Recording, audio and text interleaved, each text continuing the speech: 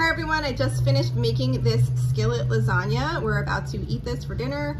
Um, this was a new recipe that I tried out this week. It's one of the recipes that I shared on my weekly meal plan, um, blog post, and uh, podcast episode.